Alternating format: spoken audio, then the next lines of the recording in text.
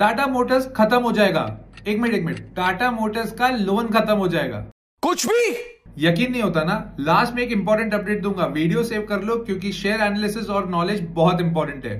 Tata Motors की एक company NBFC है टाटा मोटर्स फाइनेंस लिमिटेड इनका जो डेट है, वो तो रहेगा बट टाटा मोटर्स का ऑटोमोटिव बिज़नेस का डेट खत्म हो जाएगा बाय दिस ईयर एंड जो एफ़ वाई ट्वेंटी टू में forty eight thousand seven hundred crore था फॉर ट्वेंटी थ्री में forty three thousand seven hundred crore था, और अब twenty nine point seven thousand crore ही बचा है। टाटा टेक्नोलॉजीज़ का आईपीओ आया था, जिसमें टाटा मोटर्स का शेयर था। अपना शेयर बेचकर ये लोन्स भी चुका रहे, ये भी एक पॉजिटिव बात है। अब important update Tata Motors DVR के बदले टाटा मोटर्स के शेयर मिलेंगे। दस टाटा मोटर डीवीआर के बदले सात टाटा मोटर्स के शेयर मिलेंगे, जिससे शेयर होल्डर्स और कंपनी के लिए स्मूथ ट्रैक बनेगा। 12 टू 15 परसेंट का भी ग्रोथ रहा तो कंपनी बहुत अच्छा काम करेगी। Share it with your friends and for more meaningful update follow CA Nikhil Ninani